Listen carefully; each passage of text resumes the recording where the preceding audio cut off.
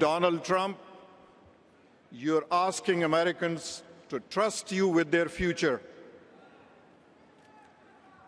Let me ask you have you even read the United States Constitution? That challenge, issued by Khizr Khan, the father of fallen Army Captain Humayun Khan, has cast a lingering shadow over Donald Trump's presidential campaign. Trump questioned the right of Khan to criticize him and implied his wife's silence was because of her Muslim faith.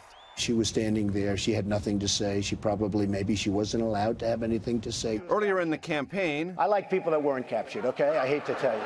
Trump refused to back down from his criticism of another war hero, Arizona Senator John McCain, who today said becoming the Republican Party's nominee did not give Trump an unfettered license to defame those who are the best among us.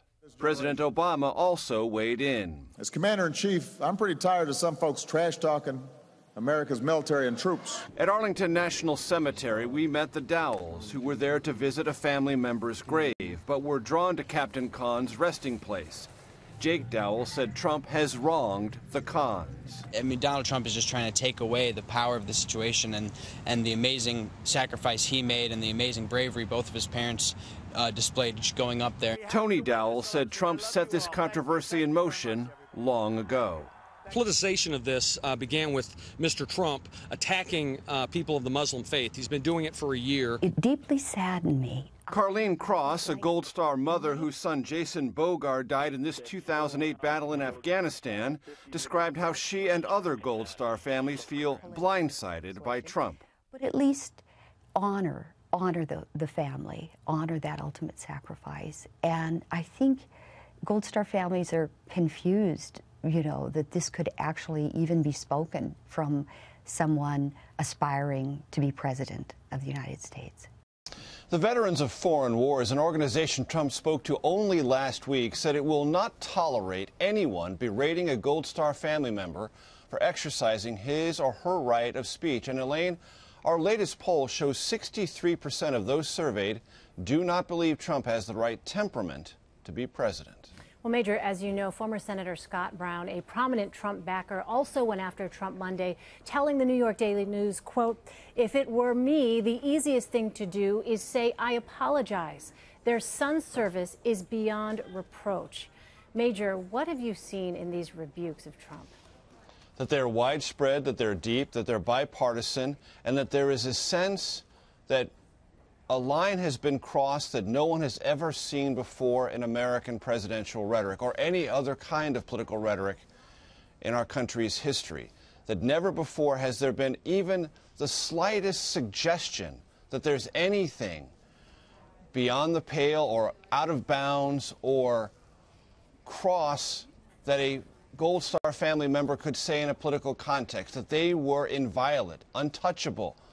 And Trump has crossed over that line. And there's a deep sense, not only of misgiving, but a sense of sadness I pick up among some Republicans, even those who are still inclined to support Trump.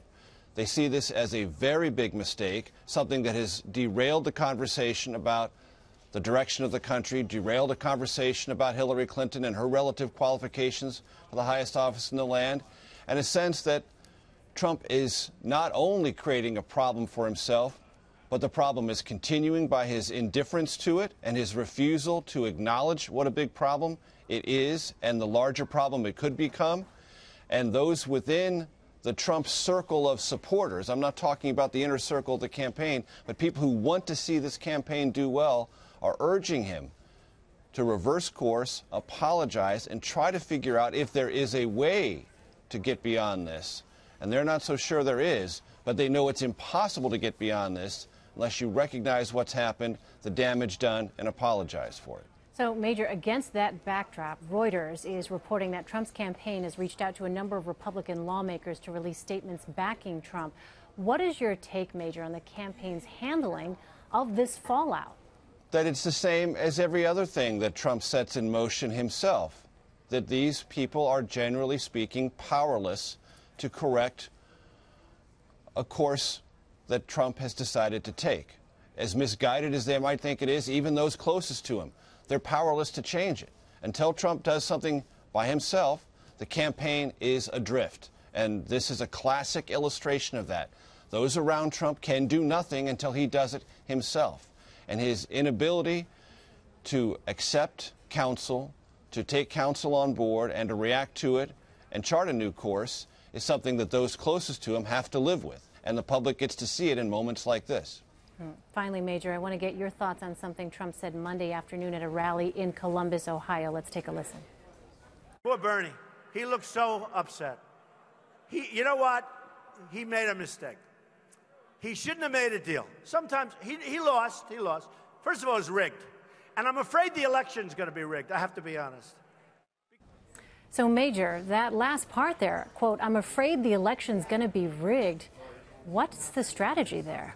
I have no idea whatsoever, Elaine, except there are times when Trump says things he genuinely means, and then there are times he says things that just literally come into his mind and he doesn't mean or doesn't even accept the fact that if you read it back to him that he even said it. I don't know where this falls in that category. What I do know is the Trump campaign or Trump himself made a big deal in Columbus, Ohio that the fire marshal had in a disgraceful manner limited the size of his crowd to 1,000 where we subsequently learned through our own CBS News reporting that for four days this event had been planned and the Trump campaign accepted up front a crowd limitation of 1,000 for lots of different reasons, dealing with the size and some construction going on at the venue.